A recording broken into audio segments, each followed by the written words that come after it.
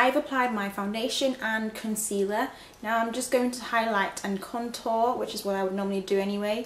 I have done a video on this on my previous, my updated foundation routine, but I'm going to show you how I incorporate the banana powder in this routine. It's pretty much the same thing, it's just different powder. So in that video I actually used my Coastal Scents Camouflage palette, but I'm going to use a different concealer for this, for my under eye. I'm using the Maybelline Fit Me Concealer and this is in the shade 30. This is a liquid concealer so it's a lot easier for me. I find that this dries up really quickly and I'm, I'm used to using more liquid concealers than cream concealers. So I'm just going to dot it in the areas where I'm going to conceal, just like that. I'm going to use my fluffy blending brush and just going to blend that out.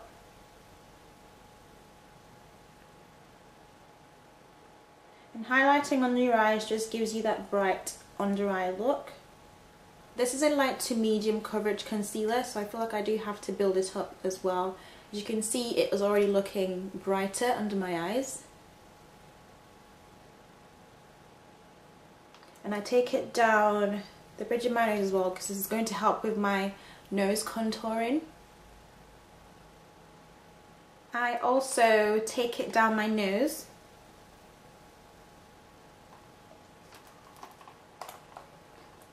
and I'm just going to use my fingers for this. Just also to highlight the bridge of my nose.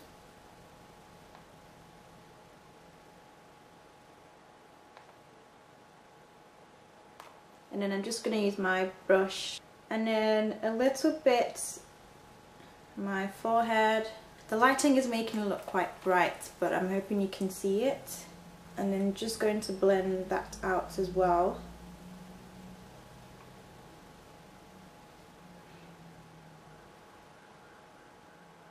So now I'm going to use my banana powder, my Ben Nye banana powder to set my under eye concealer.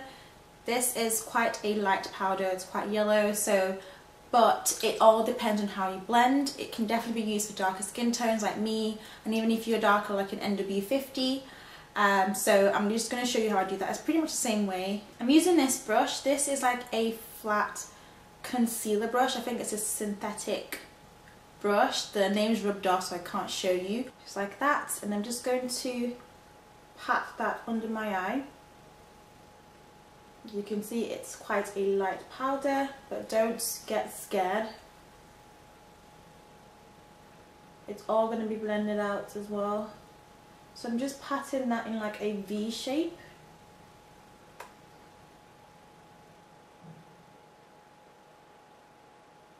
Like so. Do the same on the other eye as well. I'm taking it down the side of my nose and in the corners of my nose as well. Like I said, this is going to help with my nose contouring.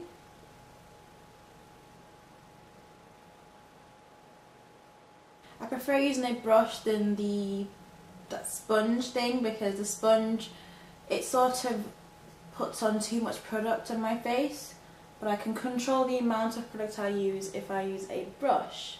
So a flat brush like this will be quite good. It looks obviously too light but don't worry. And I'm just going to take it down the bridge of my nose as well.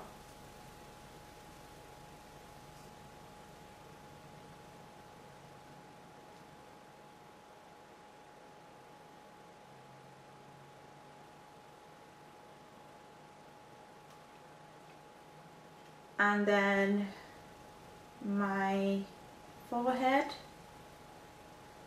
So basically where I would basically where I would get shiny I'm just gonna pat that in.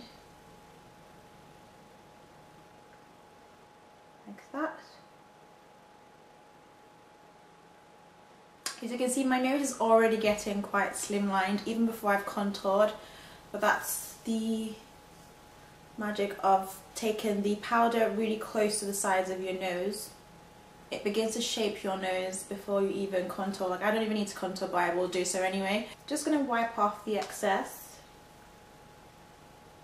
So this is what it would look like without any blending. So now you're going to have to bring back the warmth to your face, you know, using your powder. I'm using my Mineralized Skin Finish by MAC in Dark Deep. So you can tell that it's really light, it's a really harsh um, light area of my face. I'm going to blend that with the rest of my um, rest of my powder. So I'm taking this large paddle brush by Sigma and I'm going to apply it in between the light concealer and my you know foundation like so and this is just going to blend it's just going to blend that lighter area. I don't know if you can see that. I'm going to do the same on the other side as well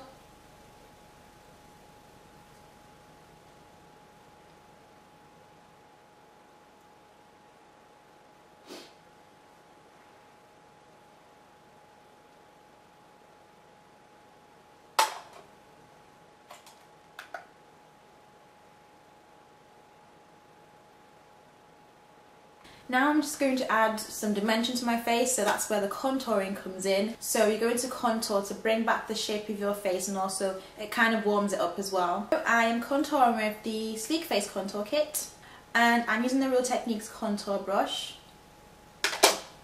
I'm just going to squeeze the brush like this and apply it to the sides of my face. I don't know if you can see that already, it's sort of giving that line and then I can blend it.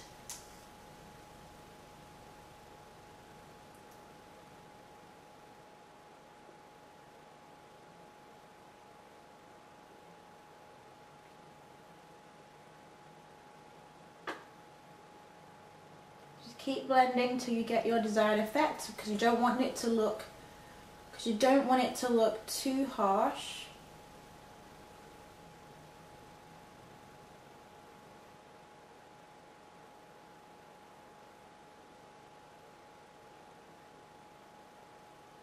squeeze in the brush and then I'm just going to blend it out.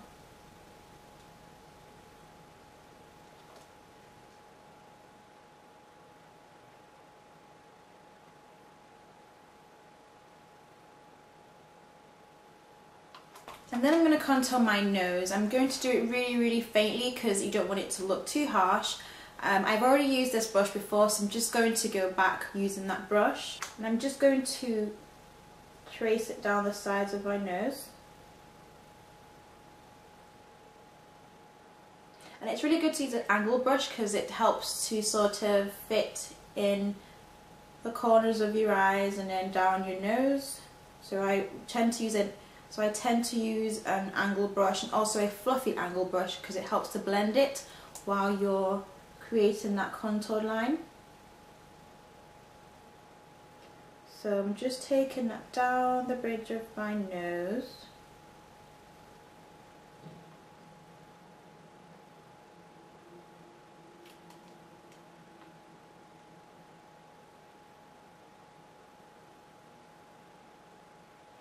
and then just blending it like that, just sort of feathering it out like so creating more of a shadow.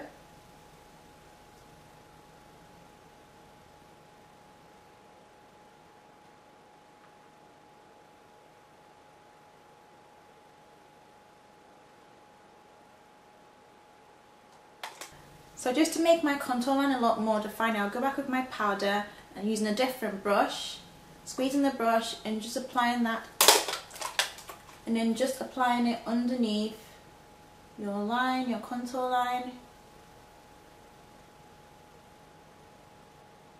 And it would sort of highlight under the line as well, but also make your contour line more defined.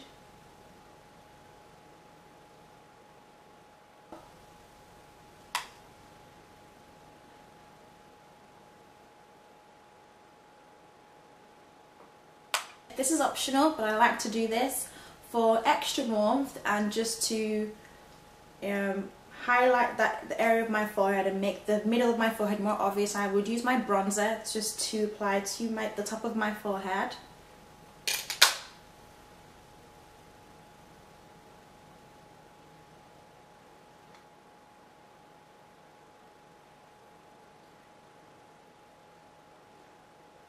So to take it down my temples as well. This is the CoverGirl Bronzer in Ebony Bronze if you don't already know and it's a lot more um, warmer than the Sleek Face Contour Kit so I wouldn't use the contour kit around my face because it's a lot harsher. This is a lot more softer. So that's pretty much it. That's how I use my Ben Nye Banana Powder. It shouldn't look scary to you. I know Kim Kardashian uses this shade so you probably think for people with dark skin this won't suit them but it really does. It depends on how you use it, how much you use and how you blend it with the rest of your face so I would recommend this as well. I find that this is a lot, this um, goes on my face a lot more smoother and finer if that's a word than my um, Topaz. Just to show you Topaz side by side in terms of the shades as you can see, Topaz is a lot more closer to my skin tone than banana powder would be but like I said you can still use this if you're my skin tone or even darker. It's just how you apply it. So yeah. So I hope this was helpful. This was just basically another contour and highlighting video but I hope this was helpful for those of you who were considering getting the banana powder but thought it might be too light. You can definitely work with it. So give it a try and let me know if you if it works for you. But anyway thank you so much for watching and I'll see you in my next video. Bye guys